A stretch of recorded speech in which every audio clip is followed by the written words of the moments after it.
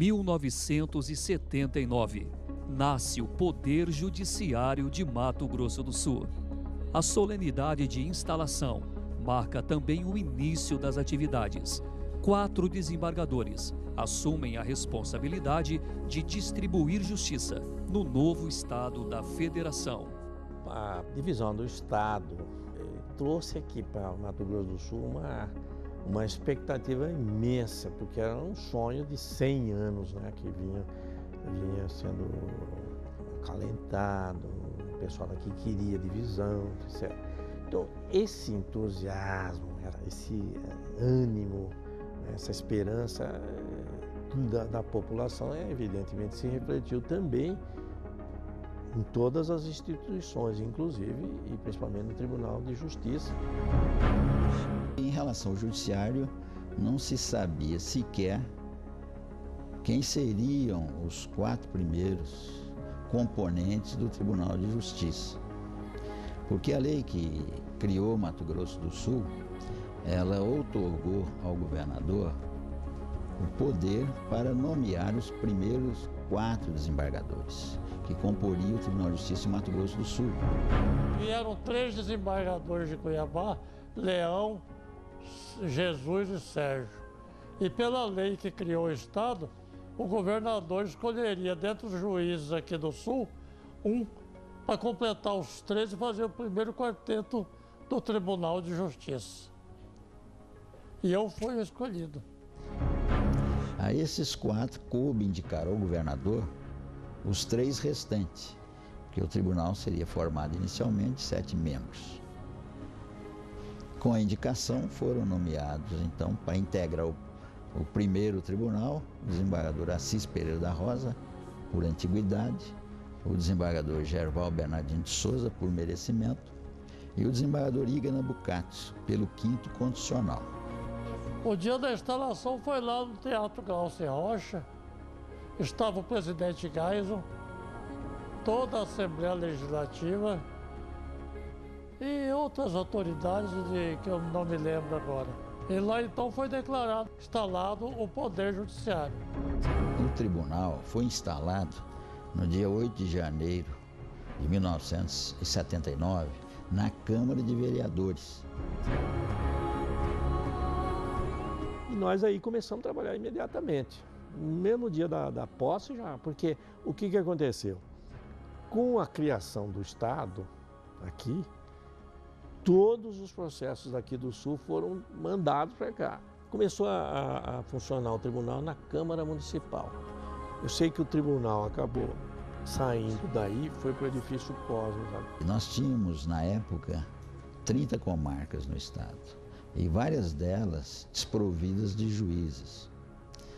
Então o tribunal também não tinha servidores efetivos. Não havia assessoria, nenhuma, nós fazíamos tudo, pesquisa de jurisprudência, é, datilografava as decisões e era tudo máquina de escrever. Sabe que houve uma evolução muito grande nesses 30 anos, é muito grande. A tecnologia tem ajudado muito e, e o judiciário hoje é, é um judiciário mais mais ampliado, assim, mais abrangente, resolve problemas eh, muito maiores, né? muito mais complexo do que, do, do, do que nós resolvíamos naquela época.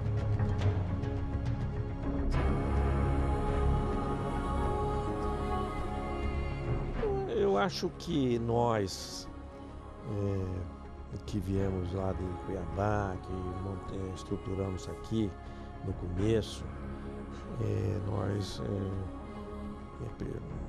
sem, sem fugir a modéstia, né? mas iniciando uma caminhada muito séria, muito importante, muito é, uma, uma, caminhada essencial né, para isso que está acontecendo hoje. Diz, né? Julgar alguma coisa que se aproxima até de Deus, é alguma coisa sublime. Isso te dá uma satisfação íntima muito grande. Você ter consciência de que está fazendo justiça.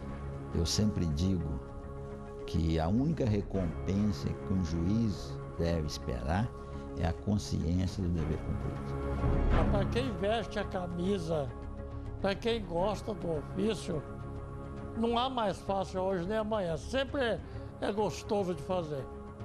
Quando você tem vocação e faz com prazer, porque gosta, o serviço sai bem feito e você vai se aperfeiçoando cada vez mais e se apaixonando pelo serviço. Eu não me arrependo de nada que eu fiz ao longo da minha carreira.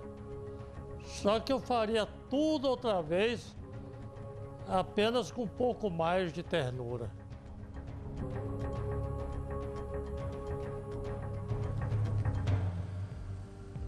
Trinta anos depois, o Poder Judiciário de Mato Grosso do Sul está 100% informatizado, com prédios próprios em 45 das 54 comarcas.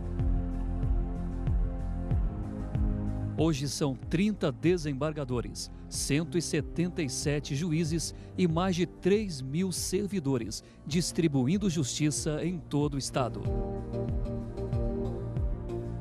A modernidade está presente na rotina de magistrados, servidores e principalmente do jurisdicionado, que dispõe de um sistema eletrônico para tramitação de processos. A consulta online é hoje um dos carros-chefe da internet, pela qual todos podem acessar as informações processuais. A versão eletrônica do Diário da Justiça garante transparência a todos os atos do Judiciário de forma rápida e gratuita. Desde 2005, de forma pioneira, o Judiciário de Mato Grosso do Sul aderiu ao processo digital no décimo Juizado Especial e hoje são 10 varas totalmente digitais, sendo quatro na Justiça Comum, com o processamento integralmente virtual, sem a utilização de papel. Ao longo desses 30 anos, vários foram serviços colocados à disposição dos advogados e das partes para facilitar o acesso ao judiciário e que estão disponíveis no portal ESAGE.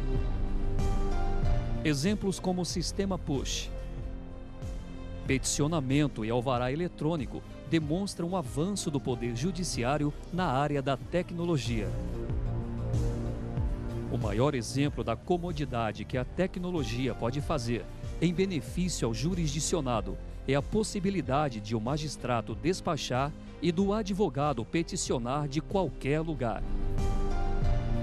A videoaudiência e o júri simultâneo são inovações que beneficiam o maior número de pessoas, garantem economia aos cofres públicos e celeridade processual. E ainda para acompanhar a tendência tecnológica, a revista trimestral de jurisprudência passou a ser disponibilizada na versão online. Essa evolução só foi possível com a colaboração de todos aqueles que, de alguma forma, participaram da administração do Tribunal de Justiça nesses 30 anos. Esse ano, o Judiciário de Mato Grosso do Sul completa 30 anos.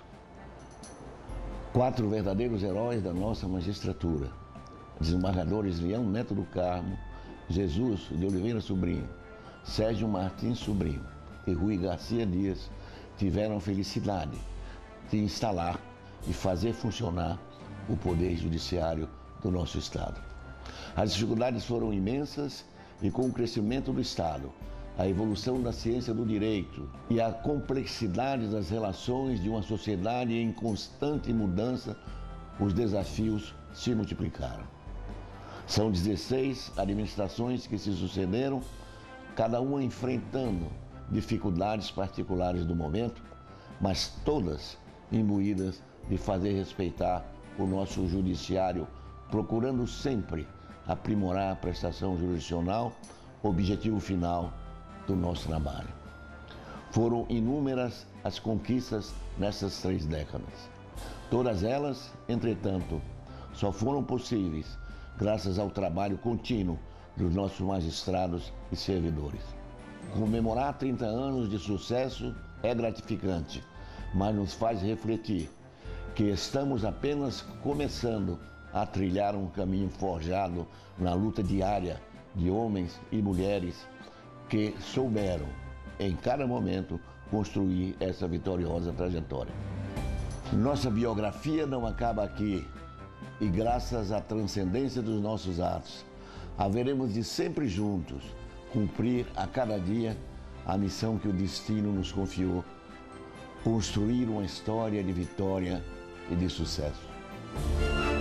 Poder Judiciário de Mato Grosso do Sul. 30 anos de história. 30 anos garantindo dignidade, cidadania e justiça.